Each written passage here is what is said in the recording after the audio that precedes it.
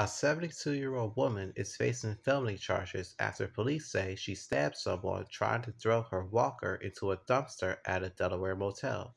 That's where troopers were called around 9:30 p.m. Tuesday night to the Hollywood Motel in New Castle, Delaware, where police said an argument over a suspected theft turned physical. The two people involved were separated, but police say the 72 year old woman stabbed the 57 year old victim a short time later as the person tried to throw her walker into a dumpster, according to a news release. The victim was treated at a nearby hospital for life threatening injuries. The woman still had the knife in her hand as troopers made their arrival.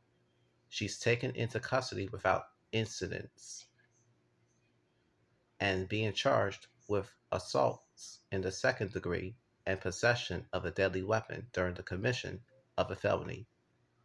She's still being held without bail and secured bond set at $30,000. Coming up next is The Late Show with Stephen Colbert. That's followed by The Late Late Show with James Corden. Our morning team is back from 4.30 to 7 a.m. For everyone here, my name is William.